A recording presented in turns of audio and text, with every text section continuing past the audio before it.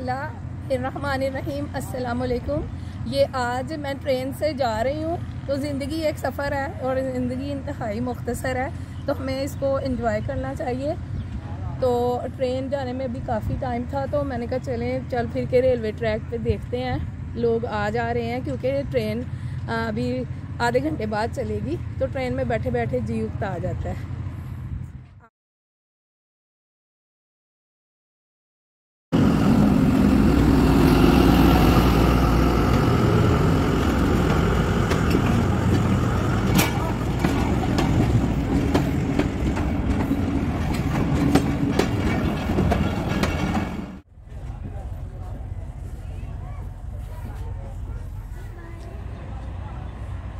Bye-bye.